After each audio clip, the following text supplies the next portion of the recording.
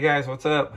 Hope everybody's having a good day out there today. And hey guys, just wanted to take a second and let you know that there's been another one of those dang scamming bastards out there that have been all over my channel and other channels too. Um, I put the, actually I put a copy, the, the thumbnail in this video is the text that they're getting. A lot of you guys have been getting, uh, if you watched the videos or commented the last few days, um, this guy comes on there and he says, text such and such for your prize, all that type of stuff.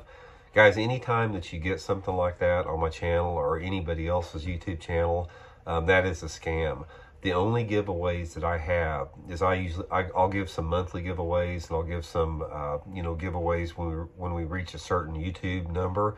But I always talk about that in the video, and I'll say uh, we got a video, a drawing tomorrow, and then I announce the winner. So I announce the winner and the giveaway. There's you'll you'll never get just like a random uh, response saying text such and such you've won this or that. So man, I just don't know what we can do about that. I've been blocking these guys that do that. Um, I wish that the laws would crack down on them. It's absolutely ridiculous. I mean, it's just there's nothing worse than a scammer and a thief. They're it's it's the same thing as a thief. I mean, scammers are thieves, and thieves are, in my opinion, like some of the lowest life forms out there.